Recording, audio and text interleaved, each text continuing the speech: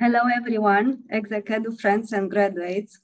It's nice to see you again online. I'm Oana Scarlat, and um, uh, welcome to a new edition of our eGrow Live Talk, a learning accelerator and an opportunity for you to learn uh, new concepts and uh, to acquire new tools. Uh, so I'm very delighted to see the interest raised on this topic. It's uh, even more important in these uh, pandemic times uh, leadership uh, from the inside out is our topic, and uh, I'm uh, very happy to welcome uh, our uh, our special guest today. that is coming from Spain in our live talk. hello, Luis. welcome to our eGrow live talk. Hello. most welcome also from my side, and I'm delighted to be part of this meeting. Great. And we also have uh, here uh, my dear colleague and mentor, uh, Simona Podgoreanu, who will be the moderator of this meeting. Oana, hello, Luis. Hello, everybody. I'm very, very happy to be here today. Yes, we are uh, very, very pleased of the interest on this topic, as I said, and uh, in order to uh, be able to broadcast on uh, social media, we'll uh, keep uh, the cameras and uh, uh, the microphones on, closed, but please don't hesitate to write to you via chat or on the Facebook comments because we will address your questions. We want to be an interactive dialogue. We want to be to have you involved in this live meeting. So please uh, take advantage of it and uh, don't hesitate to, to interact with uh, us. So um, this micro training introduce, uh, introduces a very special course that will take uh, place in December with Luis Huete from IESE Business School, uh, and its name will be Leadership, Happiness, and Fulfillment. It, it will be on December 6 and 7, and we welcome you to this, this amazing training. Uh, but uh, first of all, uh, let us see uh, what we can discover today from uh, Luis and Simona. And uh, before we start, it's my pleasure and honor to introduce our speakers today. So we know Luis Huete from a very long time ago, from 2004 when he um, uh, he uh, conducted an excellent, amazing uh, workshop uh, for our graduates in uh, Sinaia, and uh, Simona was also there as an organizer. Uh, you remember Simona, isn't it? and, yeah, I know. yeah, and since then, Luis has been with us several times with excellent results. Uh, so Luis uh, ha uh, has been a professor at IESE Business School, the famous business school in uh, Spain, uh, since 1992 uh, and has also lectured in the Harvard Business School. He has been a researcher in Harvard Business School for many years, years and has taught um, Harvard Business School achieving breakthrough services and in advanced management programs. Uh, so uh, he has uh, participated also in other management programs uh, on five continents on famous business schools. And uh, moreover, he has provided training and consultancy services to more than 800 companies in 70 countries working with CEOs and boards. So he has a lot of experience in working with uh, CEOs and managers and uh, leaders. Uh, his work focusing on uh, leadership strategy, uh, structure, behavior re reinforcement systems, and corporate culture. Uh, Luis holds a law degree, an MBA from IESE Business School, and a doctoral degree in business administration from Boston University and he's an author of uh, 12 management uh, books. Uh, and I could continue a lot on this topic. but I will stop here and turn on Simona, who is part of executive team, where she is a trainer, coach, and a consultant from many, many years. And uh, her training experience is proven, is proven by uh, thousands of hours in face-to-face or online uh, courses, leadership courses, but not only. And uh, she has inspired thousands of participants. She is also a successful uh, senior executive, uh, now acting as a HR director for KPMG Romania and Moldova. And previously, for uh, 13 years, she has been uh, the HR director of a company with six business lines and uh, 1,200 employees. Uh, in uh, 2019, she was awarded for excellent training performance uh, with a bronze award after the vote of over 600 HR managers. Uh, she had also graduated the uh, top management program at uh, Barcelona, which uh, links uh, her even more with Luis, and also other business school, Harvard, HEC Montreal, and, and so on. Uh, uh, thank you, Simona, for having patience uh, with me to present to you because I know that you don't like it too much. And uh, please, uh, I pass the floor to you to uh, conduct this amazing learning experience for everyone. Thank you, Ana, for this presentation. Um, indeed, I am very, very happy to be here and thank you for this invitation too, because I think, Luis, I told you already many times uh, that it is a topic that I am very much uh, fond of. Uh, and I'm happy to have the opportunity to discuss uh, with you on, on such a topic, as I really consider that uh, leadership inside out today is not uh, about how we manage people or even less or more accurate, it is very little about how to manage people, but it is more about how we can master an ongoing internal growth process that will impact on ourselves and other people, of course. So uh, being uh, myself very passionate uh, about contributing to my personal growth, but also to the growth of, of other people, as you, as you, can imagine, I have uh, read and participated in many researches on leadership skills. And also I see our markets really invaded on books on personal development that uh, every book almost promises uh, us mastery of the leadership once we end uh, these books uh, to be read. But the reality actually shows that uh, in most of the cases, it just doesn't work. And uh, we have promised, Luis, together in, in our presentation that until the end of our meeting today, we will give to the audience at least one tool that will work. Yeah. and we will do that. I trust we will do that. Also, I know you have prepared many tools uh, during the, the training uh, itself, but yeah. today we will give also tools. Uh, what I propose you, Luis, is before going to the to tools and uh, anything else uh, in the meeting, uh, I feel the need to clarify for, for our guests also, what are we talking about today? So if you can tell us, what do you understand by leadership inside out? Wonderful. Hey, listen, this is an important issue eh, because um, many times we have to ask ourselves what is going on inside each one of us before we harm others or even we harm ourselves. Eh? And uh, basically, what I understand by this leadership is that we have had very powerful resources inside ourselves that uh, do have to be managed, do have to be lead, so to speak and uh, this leadership is very much about how can I, how can I use for the best eh, all the inner resources. Uh, and inner resources happen to be uh, my intelligence, my kindness, my will. Eh?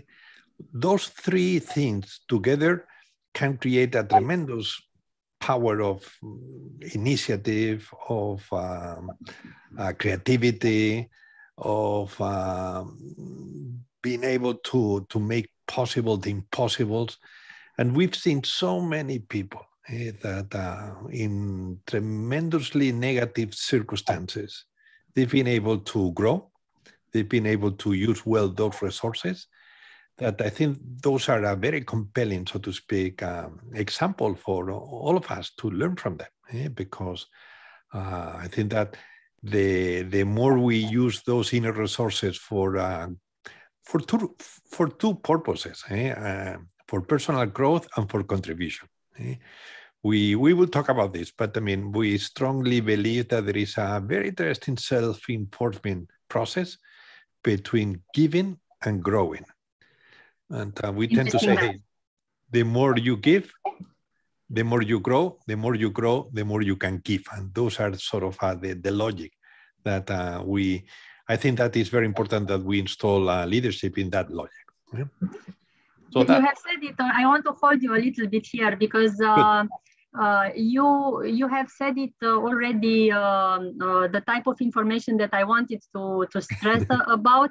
But I know, Luis, that you did uh, your uh, research is in your research is a comprehensive examination of effective leaders, and you you just mentioned it before. so you have many insights to identify leadership patterns.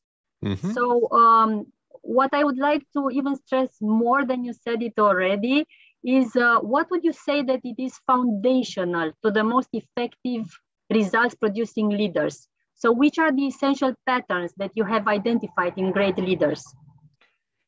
Well, we can talk hours on that. Eh? Yeah. So let me give you at least uh, three, how can I say, three models or three ways through which we can conceptualize that. Hmm?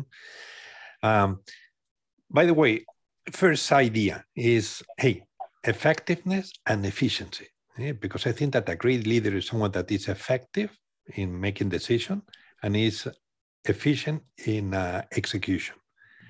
And I think that also this first model is effectiveness, efficiency in the short term and in the long term. And this is why this model that I will explain more in December says, hey, there is four vitamins that are part of leadership. Eh, one is uh, what we call the red vitamin, so give you vitality. And this red vitamin is all about determination to execute. This is short-term effectiveness. And this is you are pushy, you know how to organize things, you are on top of uh, short-term results, you sort of uh, have uh, um, an idea of uh, which are the, the, the tools that you have to use to get things done. This is the red vitamin. Then we have the what is called the blue vitamin, which the rigorousness to administrate. And this is short-term efficiency. Hey, effectiveness, efficiency, we've got now two areas of personal development, so to speak. Then we have uh, the third area of, uh, of personal development, so to speak, that is uh, what we call the green vitamin that gives you vitality to do well. Something that is more and more important is the human sensitivity to integrate. Meaning by integration, um, alignment, uh, collaboration, uh, teaming, uh, creating values around yourself, and this for us is long-term efficiency. And then there is a fourth area of development, so to speak, uh, that is, or a fourth area is typical from sort of effective and efficient uh, leaders, is what we call the yellow uh, vitamin. And the yellow vitamin is the creativity to become an entrepreneur, is to, not an entrepreneur per se, but to do new things to be, to be able to innovate, to be able to be more creative. Eh? And again, this is long-term effectiveness. Hey, mm-hmm. and then our message is very interesting. How good you are in yellow, meaning long-term effectiveness, will give you a clue of how good will you be in the future in short-term effectiveness. And the same with green. How good you are in green, that sensitivity to integrate diversity give you an idea of how efficient would you be in the in the short in the long term in the way you do things. So that's one way through which uh, we love to because that's uh, training people to develop those vitamins and how to make it compatible and uh, how to create a team that is perfect meaning by perfect in which you've got the four vitamins very high in a team and they know how to work together. I think this is critical so this is one of the models that we use. Another model that we use is uh, the one that was developed at Stanford some years ago. I remember this uh, Jim Collins saying, hey, there is level five. Level five is someone that is uh, admired because in some areas he or she is above average. Second is someone that is uh, knows how to manage people, knows how to understand people, knows how to listen, knows how to empathize. Third is someone that is very resolutive, eh? so knows how to make decision you know, under uncertainty. Fourth is someone with charisma. And fifth is someone with uh, that on top of that is humble and has a strong determination. So that's another way through which you can look at the same issue. And then the third model that I tend to use is the one that was developed by my friend Tom DeLong in at Harvard Business School that says also that good leaders tend to do well five things. One is they set a very good personal example. Second is that uh, they know how to uh, set the direction. So it's more the what, less the how. Third is they are on top of execution so that they know what happened with, with things.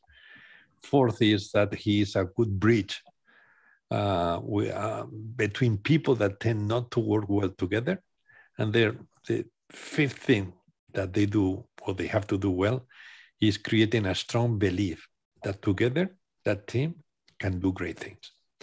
So that was a long so, answer. Uh, it sounds very easy, Luis. but those are the ideas that I try to work with uh, when I when I happen to be in front of uh, executive teams. So I, I take uh, I take it from here. So I, what I understand is uh, if you want to become a great leader, don't forget to take your vitamins. This is what it is important. So yeah. Uh, growth. Yeah. yeah.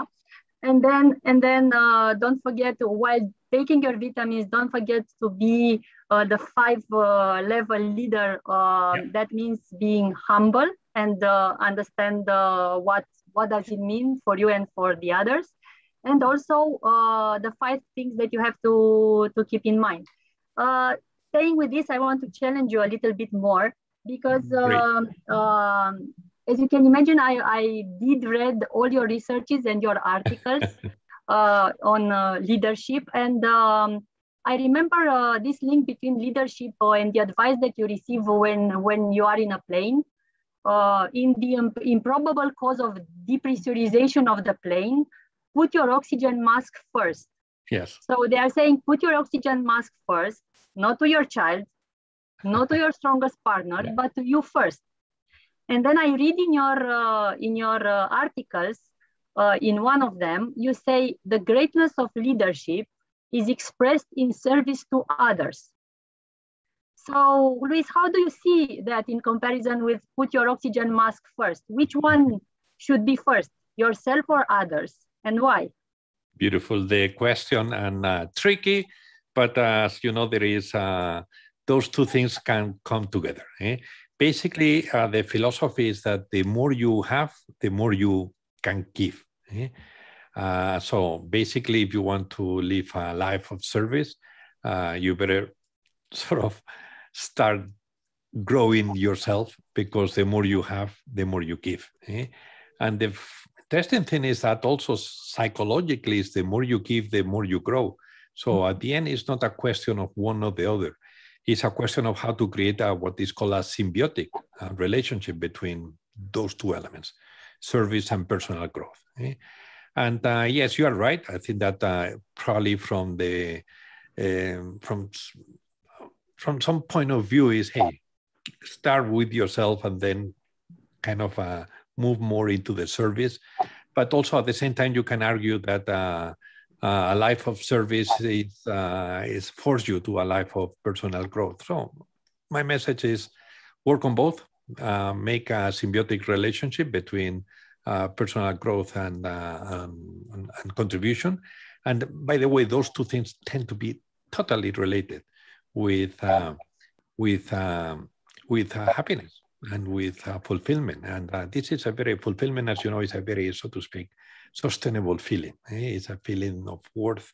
It's a feeling that of gratitude It's a feeling of uh, that, what you are doing is meaningful for you, and that is tremendously attractive, as as, as all of you know. Now, this makes me remember. Uh, I don't know uh, uh, where I, I saw that, but for me, it was uh, very relevant, and it helped me to make decisions uh, in life. I remember someone saying, "Make make always good to yourself without hurting others, but make good to others without hurting yourself." Beautiful. If those two are not going together, this is something wrong and you have to revise what you want to do. Beautiful. So uh, I think it's very close to, to what you are saying. And for me, it was really helpful when I was in doubt uh, whether to do something. I was I was always trying to understand: does this uh, brings me something good? Yes, checked. Does this hurt anybody? No, checked. And the other way around. So uh, yes, I, I relate very much to to what uh, you are saying. Simona, um, you know you know that I love uh, two by two matrix. Eh? So yes. uh, with those uh, two variables that you just mentioned, you can create a two by two matrix. Is doing good, uh, doing good or, or hurt you, and others are good and hurt. So you've got four things. The worst thing that you can do is hurt yourself and hurting others. And others. By the way, we do that from time to time. Uh, and then the best thing is uh, doing something that simultaneously that's good for you and for others. And then you've got the other two situations. So very good. Yes, I love it. Yes, yes, yes. I, I loved it too. And also uh, when you said that uh, that uh, sometimes we are we are hurting ourselves and we are hurting others. Well, actually, it's as crazy as it sounds. We we are doing this uh, many times without being aware. Uh, and uh, this is something that it is it is important, let's say, to understand. So coming back to that, um, when you refer to leadership inside, inside out, you speak about five personal battles. You speak about focus, you speak about interpretation, about emotional state, about self-imposed standards, and about routine and time allocation. And I propose you to, to take them one by one um, in order to understand them more because I found them meaningful and, and very interesting. And um, I would start with focus because um, when I when I saw your your model, I was thinking that personally, I find more difficult than focus to understand what you should focus on. So for me, uh, not necessarily the problem is the focus, but uh, is to understand my purpose uh, and of course then my objectives. And I find those quite confusing from time to time. And I will give you an example. I was thinking that um, if you if you ask what is the purpose of, of a football team or any other team, the answer immediate answer would be to win the game, to to beat the the other uh, the the competition, to beat the the others. And if you ask another question, what's the objective for the team? Um, you may most probably get the same type of answer. You know, uh, so win the game. So um, very often we find there is a confusion between what we consider to be a purpose and what we consider to be an objective. So the purpose, I know that it is the reason why, why the business exists, why uh, do I exist, why uh, the team actually does what it does. And the objectives is what it is need to be done in order to achieve the goals. So um, having in mind that, uh, or my struggle, let's say, uh, I would ask what is the better um, um, uh, for a leader when it comes to focus and how would you link focus with purpose and objectives? Very good. So let me uh, rephrase what you said. Um, purpose is the why, and then uh, probably the objective is the what and the how. And mm, the interesting thing is that if we put those things together, by the way, uh, the why in, in, in, the model that I tend to use is more a yellow, is the, is the purpose, is the why. Yeah? So it's more the long-term effectiveness. Then the what and the how in our model is more short-term. Uh, the what is effectiveness and the how is efficiency. Hey, and as always, you want things to be integrated you want the how, the what, and the why, and even the whom, something that um, integrate well well in, with with themselves. Eh?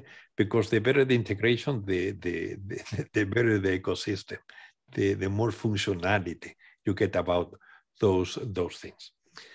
And um, before jumping into the focus, that I will do in a minute, let me put that into the context. You you talk about battles and uh, and as you know there is this simon sinek that came with this concept or he popularize a concept that was already there, that is that the infinite game. Eh?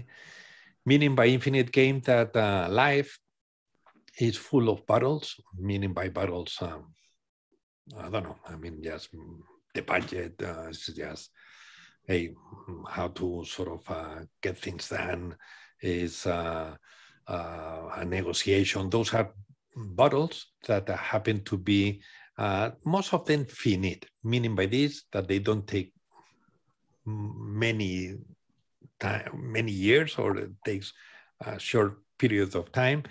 And meaning by this that most of them we already know the rules on how to handle or how to, so to speak, to win those battles. But then the interesting thing is that uh, he remarks that there is something uh, along with the battles that happen to be called the infinite game. Let's call it the real war. And that is uh, whom you become, whom you become as a leader, whom you become as a person, while you try to win the battles of life. And the interesting thing is that, uh, hey,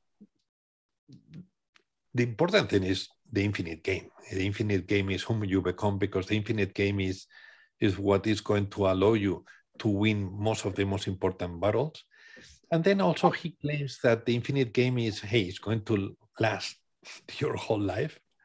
And even when you die, as you know, there is uh, two ways through which we die. One is a physical death, and then there is also, a, how you said, a spiritual death. That is when no one just remember you when uh, whatever you have done in life is, is gone eh? because it hasn't survived. So basically they say, hey, let's play the infinite game eh? because the infinite game is, is the most intelligent approach to life. Eh? Because the infinite game is uh, trying to get the best version of yourself and trying to stay in that best version of yourself um, the longer you can.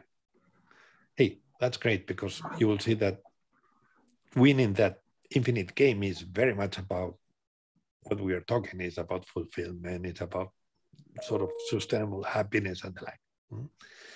so this is and then i develop a model that says if you want to win the infinite game there is five key battles in your life that we will go through them now that uh, you have to sort of uh, keep winning them because you will see that they uh, relate one with another. And uh, we are going to start with focus, but they are all self-reinforcing with the fourth with the fifth, the fourth with the third, the second with the one. So it's we put it a little bit linear, but those are sort of an ecosystem of variables that are key to, so to speak, to to keep sort of winning because that's going to uh, create the condition in which most of us can uh, stay quite a bit of our life in, in, in this best, best version of ourselves. So basically with the number one is focus. Focus is where you put your mind. Uh, because there are so many things that you can put your mind. And basically focus, you can manage focus through at least two, two variables. One is uh, through the question that you ask to yourself. As you know, questions happen to be orders to your brain. So if you keep asking intelligent questions, basically then your brain will focus on those, on trying to answer those questions. And then, as you know, there is also something that we have in our brain uh, that is the reticular system, that is uh, like a radar that we have. And basically, this is what, whatever we desire strongly, the reticular system end up sort of looking for information that are related with what we strongly want. Okay? So basically, you will see that the focus, and uh, again, that's a combination is when uh, we, uh, that has happened to us, at least for me many times when I was uh, sort of uh, searching for, hey, what is the new car that I should be buying? And I had two or three candidates in my head. Uh, typically, I was much more aware of, of seeing those cars around. Why? Well, not because they didn't exist before, but because my reticular system was sort of a, a wire eh, uh, to find that sort of information. So basically, with the focus is very much uh, is uh, is choosing where you put your attention, is directing and is much more intelligent to put your attention on things that that happen to be positive than not just negative. It's putting your attention on things that you can control, not on things that you cannot control. Putting your attention on, on the present and on the future, not on the past. Those are things that can be trained.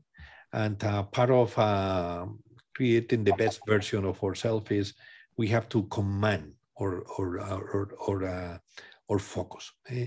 We have to be the one that are able to develop a capability in which we can concentrate, we know what we want, and that we redirect our mind to those things that end up creating that sort of uh, capability to, to go beyond where we are in, in topics that do have uh, uh, potential or do have interest for us. This is focus.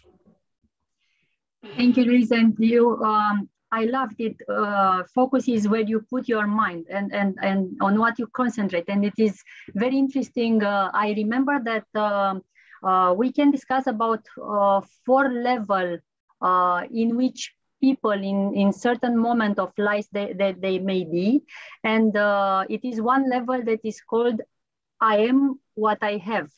And in this level, people are putting their mind on how they can accumulate more how can i take the red car or how can i how, how can i make money and there's not something bad behind because i want to make money for my kids to have for the education and uh, you have very good intention behind it so what and this this would be at a first level and it's very important where you are now where you, where you put your mind now and the second level is um, uh, i am um, how the others are seeing me that i am so I am seeing myself and I put the focus on what is uh, or which is the, the, uh, the way that other people are seeing me.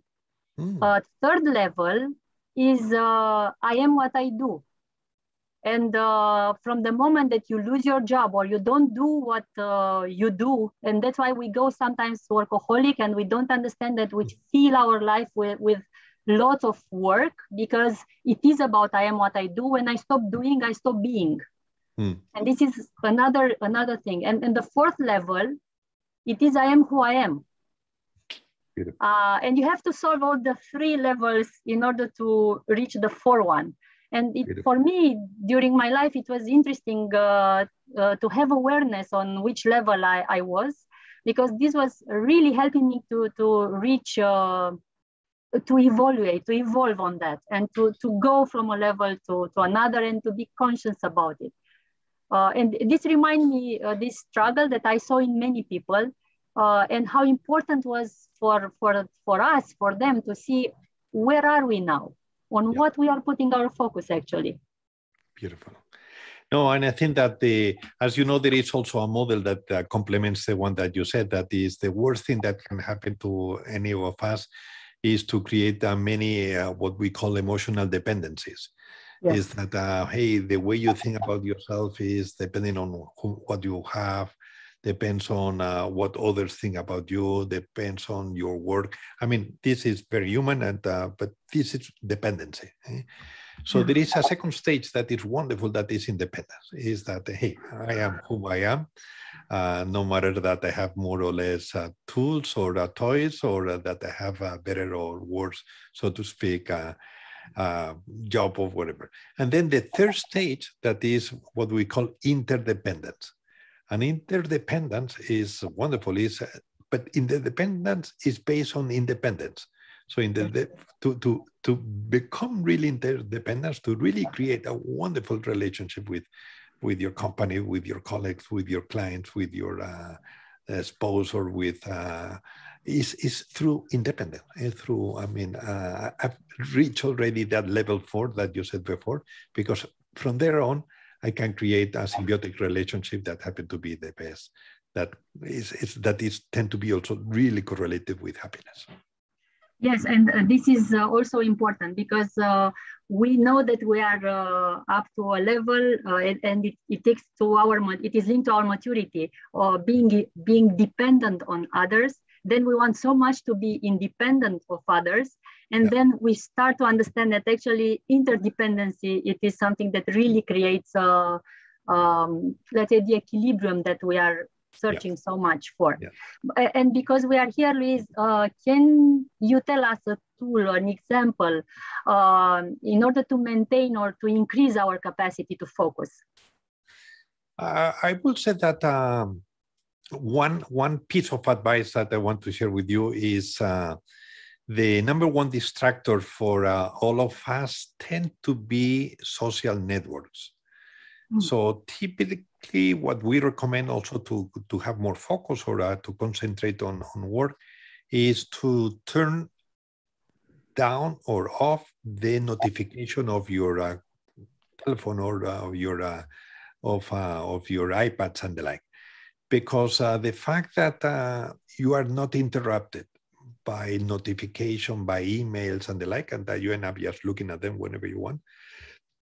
I think this is a great small way through which uh, you can focus. And then the second piece of advice that I will say is, hey, why don't you write the things that you still have to do in life, eh? the things that you really think that are reachable that uh, you really think that are worth to to fight for them that uh, you think that uh, hey you you are capable to but they are difficult but at the same time they are sort of uh, reachable.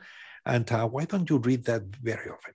Eh, eh, that's something that uh, also you can put it in your computer or you can put it into your electronic agenda so that at least every week you spend 10 15 20 minutes on on feeling and sensing those ideas because that is one way through which we can calibrate this, uh, as I said, this uh, part of the brain that is the reticular system.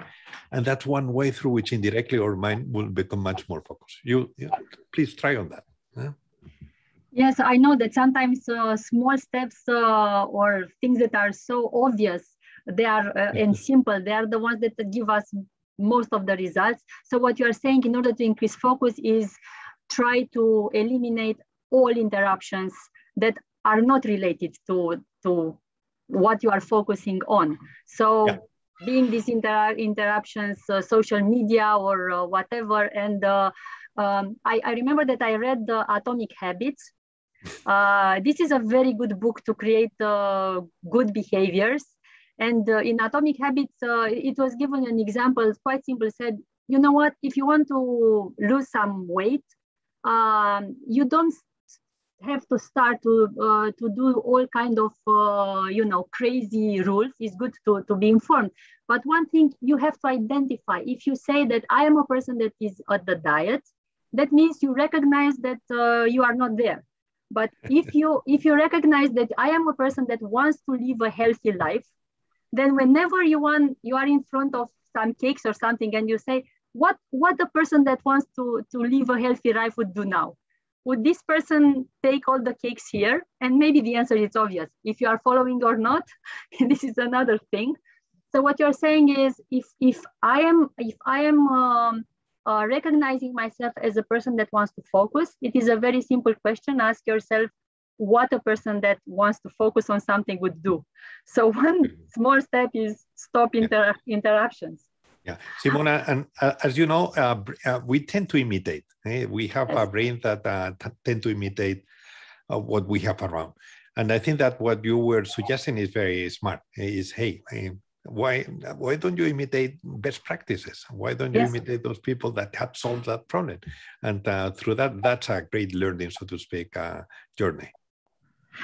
Correct but I want to go to the to the second battle because uh, I am aware of time and I don't want to okay. to lose it. And uh, you are discussing about the second battle being interpretation. Yeah. Tell us a well, bit more about it. Yeah, interpretation is meaning. Eh? Interpretation is uh, the story that you tell to yourself. Eh?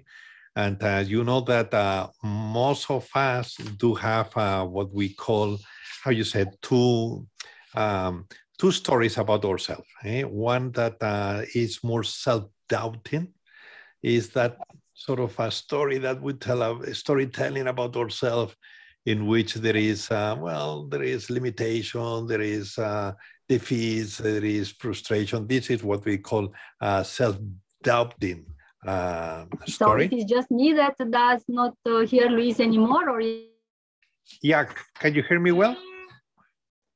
I yes, hear you. I hear you. Yes. Yeah i hear you very well We hear you also. Okay. So that might be you, Simona. So Joanna, should I continue? Can you hear me?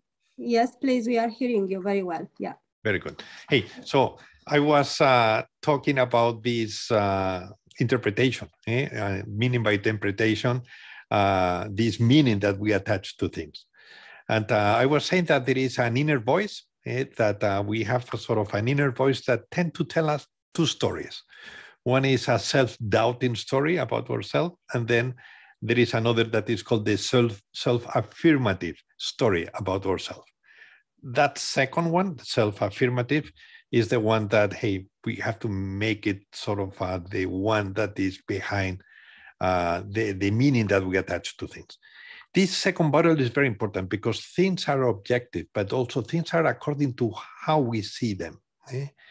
And as you know, we stress very much the idea that the story that you tell to yourself happen to be the life that you end up living.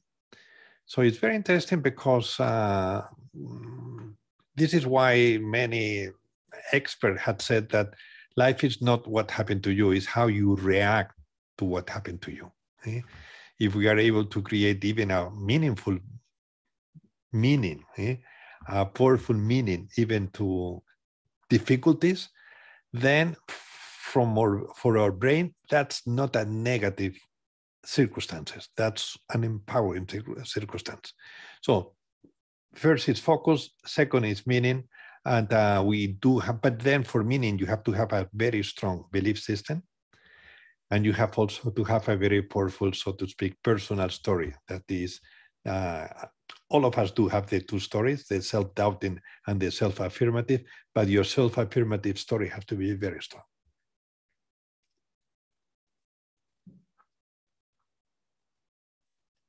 Sorry, I was muted, of I, course. Okay.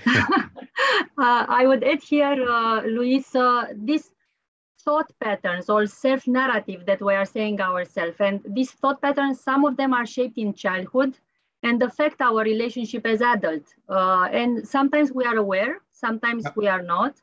And awareness, it is the first step in order to, to understand that it is something to do about it. Because we have this, um, um, the, the most frequent that I've heard with managers that I, that I am working and not only with people around me and with myself from time to time is, for example, this emotional deprivation talk, like I never get enough love or I never get enough caring, or self-sacrificing talk. I am always giving a lot from myself to others, and I the others I just don't see it enough. So many times we do not realize how much they impact us negatively in in our in our lives. And uh, it's important this interpretation, but first it is to start no with with the how what I, what I'm telling to myself when I'm talking to myself, because uh, you can you can change the language in order to change the thinking, isn't it? Yeah, absolutely. And I totally agree with you. This is a key area. Uh, typically, uh, there are three people that had impacted in our self narrative. They tend to be our parents, then they tend to be also one uh, professor in high school, and then tend to be also our first uh, sort of boss in uh, when we start working. Eh? So it's very important also that awareness of this self narrative, because uh, part, part, of it is we have to enrich it. We have to enrich that self narrative because our brain doesn't distinguish what is real to what is what we tell them, what what we are telling to ourselves. So basically, what I'm, what I'm saying is something that uh, we all know. But uh, whenever you say something negative about something, is for is is as is as if it was happening again. So this is why import, it's so important to work well with our memory, with uh, our imagination, because at the end our our brain is plastic, and uh, you change your brain according to what you think, what you imagine, what you feel, and that you want to create sort of a uh, you are going to spend the, the rest of your life in your brain, so to speak, in your uh, in your uh, intellectual. So you we better create a nice home eh, for us because we are going to be living there for the rest of our life.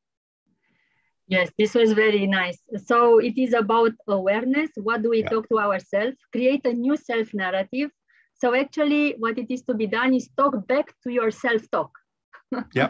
talk back to your self talk and uh, talk it in a way that brings you value, uh, yeah. not that puts you down. Yeah. Uh, Mona, as you know, uh, as as leaders, we are we tend to be very good, or as manager, we tend to be very good in cost benefit analysis. Hey, what is the cost? Eh? What is the potential benefit of this? Hey, we have to apply the same with our thinking. What is the cost benefit of uh, telling me that? Eh? And uh, probably the cost is very high and the value is very low if we keep sort of uh, reinforcing that negative, that negative narrative. So uh, let's go to the other battle. Okay. Um, the we have uh, the emotional state battle, and I found it very uh, interesting. Uh, actually, during this period of time because we all know that the uh, COVID crisis places us uh, in a unique scenario and we have no previous similar experience. And we are working without references. We are learning while we are doing that. But it is a sort of stress that we cannot, we, we, we have to figure it out and to acknowledge it. So um, uh, the duration and extent of uh, both uh, the social and economic impact of the pandemic, uh, it is unknown um, and it has expanded uh, at an unprecedented speed. Um, so um, this does not look very helpful in controlling our emotional state. Yeah. So how how do you define and how we can win the emotional uh, state battle? Emotional state, as you know, happen to be energy. Eh? Uh, the way you feel and up being energy. And uh, there is positive or negative energy. There is uh, high intensity or low intensity uh, energy. And there is a strong evidence that uh, negative uh, emotions with uh, high intensity eh, are very dysfunctional for decision making. so you tend to make many mistakes because there is a strong connection between brain and heart, so to speak. Eh? So there is also a lot of research that shows that when people make take the best decision when their uh, intelligence become more practical is when you feel positive at medium, a medium, medium, high intensity positive. Uh, that's the energy gives you more sort of uh, uh, power eh, to, to, to use well all the inner resources. And here is my message. My message is that through focus and through meaning, so it's battle one and battle two, uh, you win battle three. So mm-hmm. battle three by itself, mm, you cannot. Uh, you have to work on the focus, and you have to work on the meaning. Uh, meaning by this, the narrative and the like, and then uh, that awareness that uh, the cost benefit of being in positive uh, emotional, positive, high medium. Um, emotional energy, positive emotional energy, the cost benefit is tremendous and this is why uh, again is uh, you can train yourself and uh, as you know there are habits. There are habits in the way you think. There are habits in the way you feel. And there are habits in the way you behave. The three are connected but the message is the same. The more you repeat the easier will be the next time for the good and for the bad so again to be uh, to, to try to hear our uh, and understand our emotional state yeah. and uh, be aware of it and then uh, we can we can work with it. This yeah. this is again about uh, of course self-awareness. Um, i would go to to battle number 4 mm -hmm. the self-imposed standards. Yeah. So tell us more. Yeah. Battle number four happened to be related number three uh, number three is feelings, is that uh, is uh, hey, you feel strong, positive emotion, but then how to use that. And then here comes the battle number four, that is hey, be smart, eh? use that energy, use that drive, uh, that is part of battle three and, and one and two. For number four, because number four is you set to yourself um, high standards uh, you said to yourself uh, in what is important in life, yeah, depending on your model, but uh, typically is uh, you said to yourself high standards in in renewing your energy, uh, intellectual, uh, physical, emotional, and spiritual energy. So you set to yourself standards that you self-impose to yourself, so that at the end you end up sort of be relatively demanding on yourself because you want excellent eh? and because, uh, so to speak, you uh, for you, good is not enough, eh? and most in, in the important thing, if you can, you want to be really excellent. And this is battle number four: is use that energy from battle number three to uh, become more self-demanding in areas that uh, happen to be investment in life, investment in your future happiness, investment in your future personal growth, investment in your future contribution. That's the best way through which you can use that positive energy of battle number three. You know what? Is, what, what I feel very difficult uh, in here, uh, Luis, and I need uh, I need to, to hear also uh, your opinion about it, about this instant gratification. Yeah. Okay, I deserve it. Uh, I'm working a lot. I want to feel well. So um, these self-imposed standards are really bothering me from time to time because I have high standards. Uh, I, I, I, am demanding for myself and um, uh, I don't know if for others, but from time to time I feel the need of instant gratification. So tell us a bit about it. Yeah, uh, wonderful. And as you know, the um, gratification, talking about gratification is talking about dopamine. It is yes wonderful hormone that uh, is behind almost what we do. Eh? But basically, uh, and I do have a graphic that uh, we will work in that seminar. That is, there, there is short-term gratification and long-term gratification. Eh? So there are things that provide you short-term and long-term gratification, like uh, I don't know, walking in a beautiful forest from Romania. Eh? Well, this is wonderful. And if this is a habit that's going to be good for you now, it's going to be good for you in the future. There are some issues that give you short-term gratification, but will not give you long-term gratification. Typically, hey, if you rob, eh, if you sort of lie, if you sort of uh, manipulate people, uh, if you drink too much, that's going to provide you a lot of short-term gratification because you will think that you are very smart or you think that there is, hey, a sensation. But typically, there are some short-term gratification, some of them, that happen to be, as uh, Shakespeare explained very well in his work, that uh, is part of your future decadence, happen to be related with those with some short-term gratification. Then there are some issues that, that doesn't provide any short-term gratification, like studying or uh, like uh, doing exercise at the beginning. Hey, this is no gratification at all. But hey, those are that will bring long-term gratification.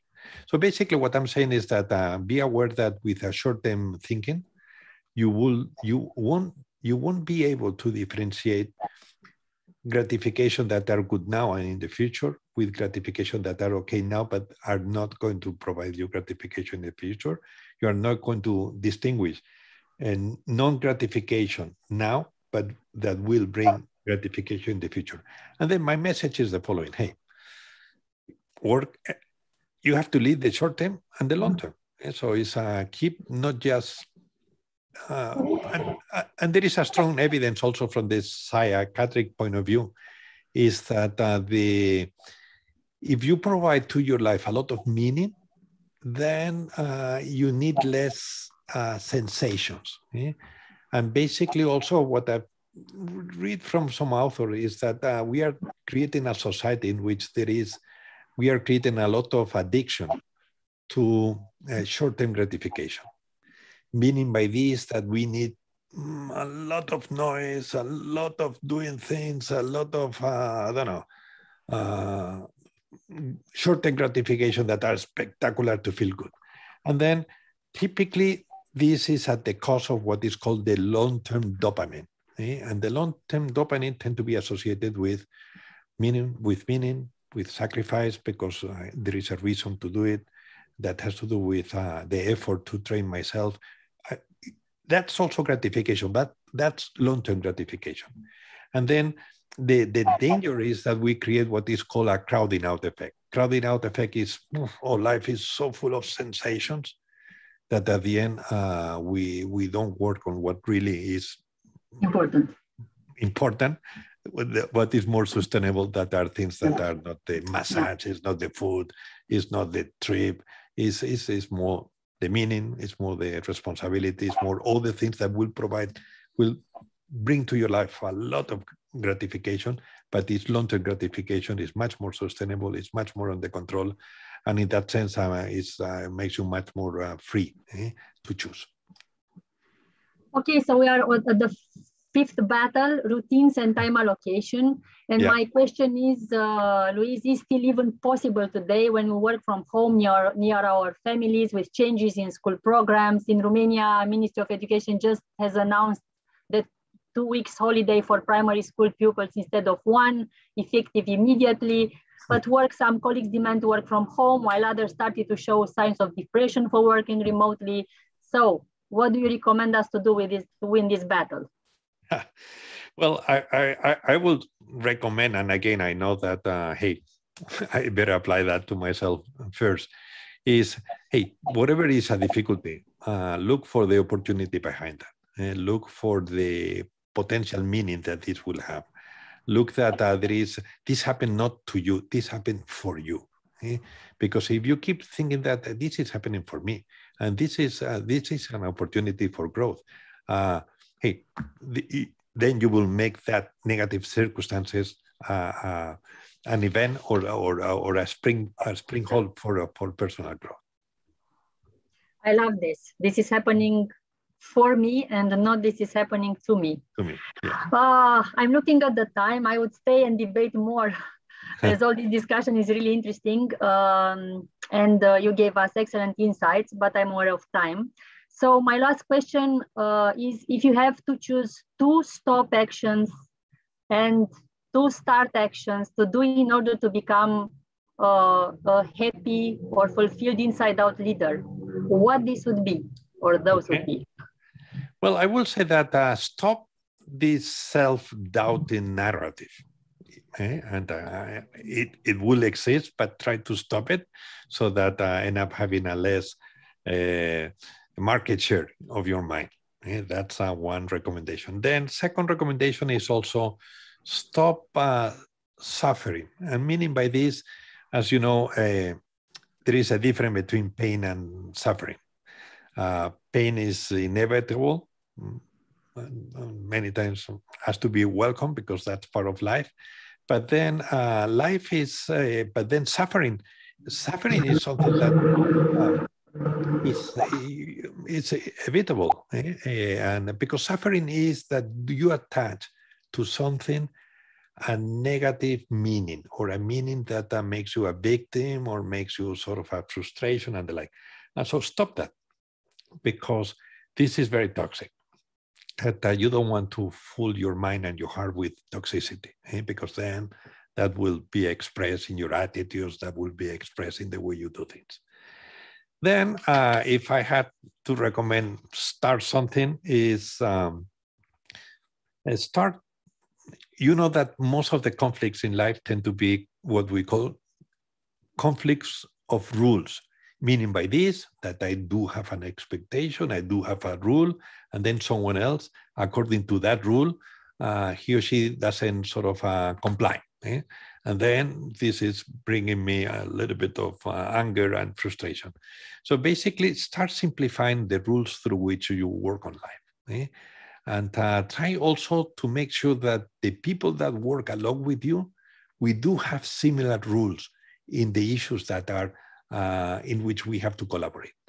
Because the more alignment of rules, the more functional functional relationship that we will develop. Eh?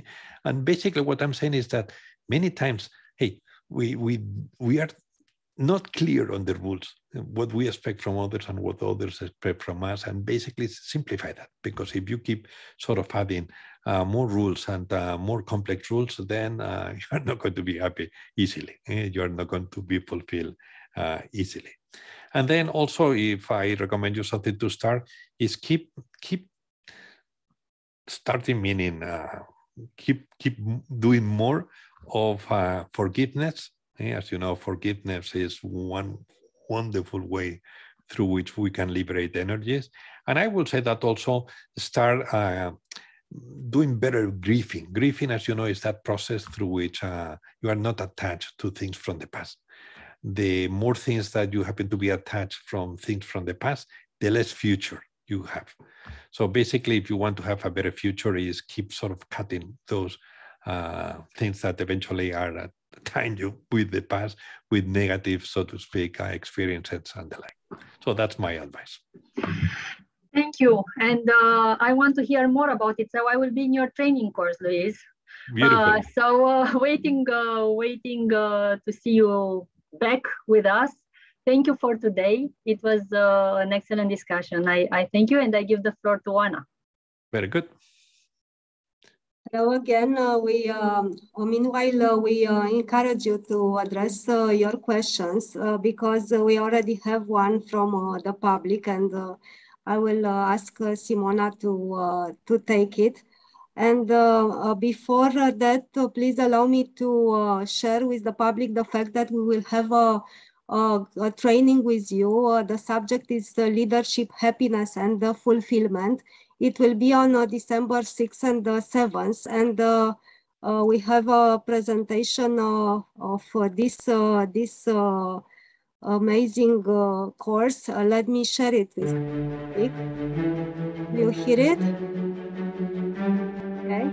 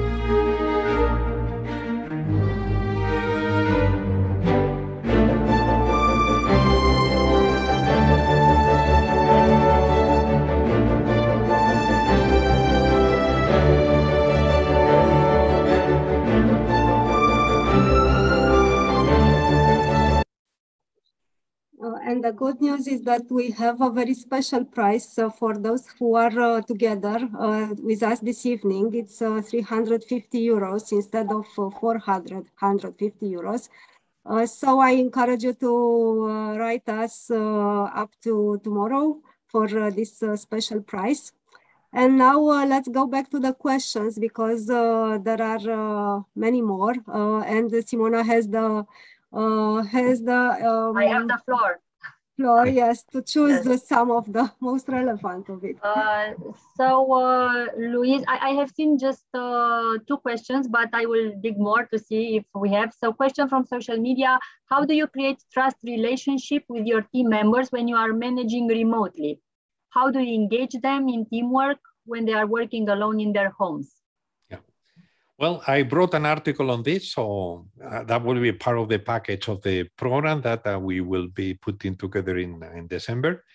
Uh, but basically, let me say that trust is based on four elements, and I think that four elements can be also um, can can can can be channeled also through online. Eh? One is uh, credibility. So I think that uh, the you tend to develop trust when uh, you happen to be credible, and I think that that's something that uh, credibility is something that comes with whom you are, comes with your past performance, and eventually it's something that even in, in online can be sort of uh, can can be work. Second thing is reliability.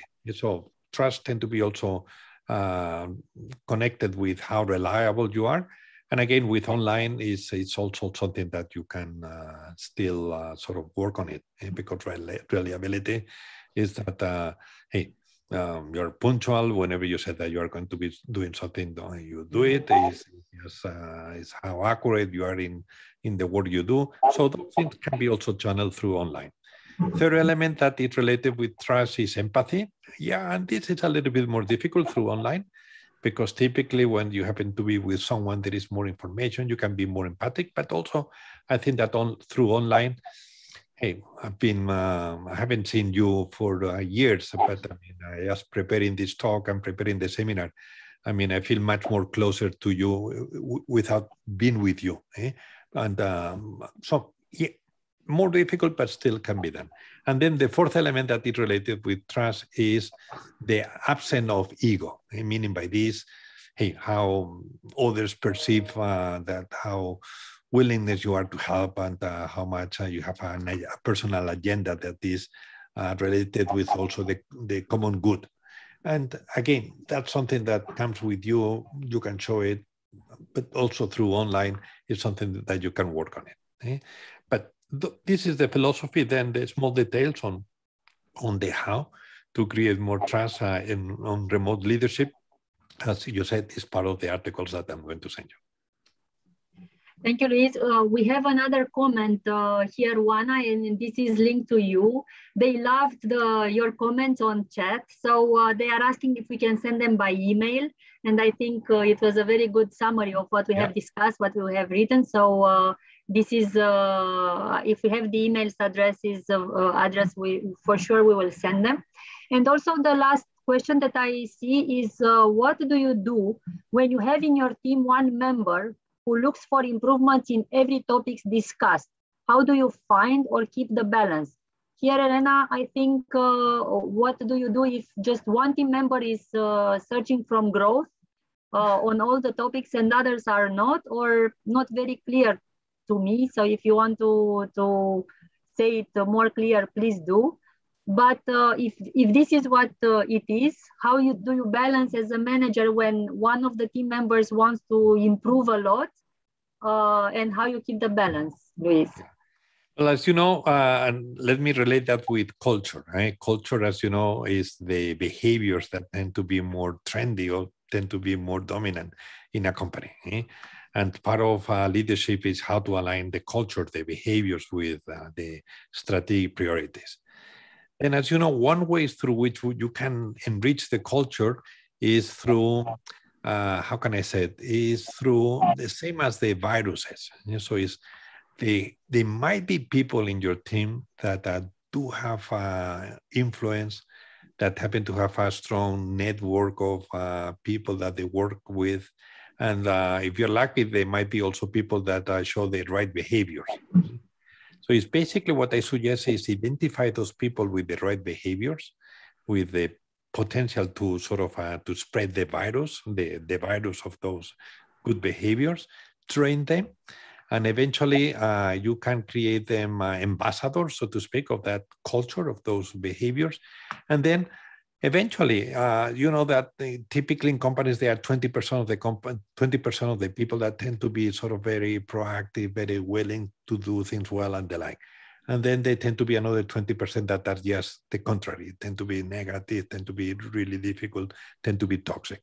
And then there is 60% of the people that typically what they do is uh, watch and see, and then they end up um, aligning themselves with whom they believe will be the winner, the, the stoppers or the people that are uh, sort of are more willing to to help in the in the in that path.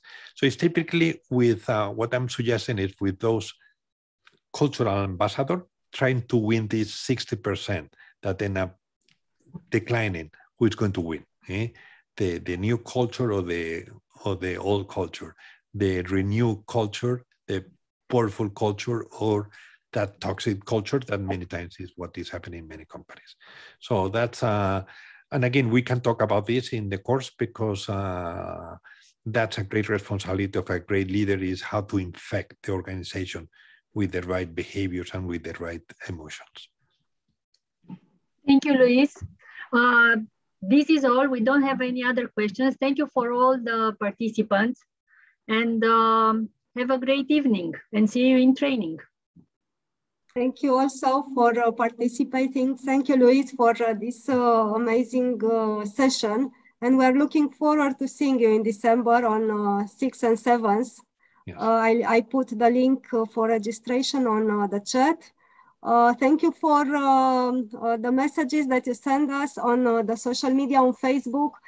thank you so much for your involvement and looking forward to seeing you at our next Grow Live talk.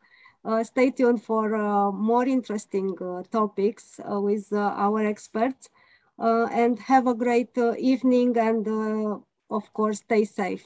Yes. And Joanna, Bye. please bring me to Romania, to Bucharest in 2022. Eh? That was part of the deal. Okay. By all means. Thank you. Bye then. Goodbye.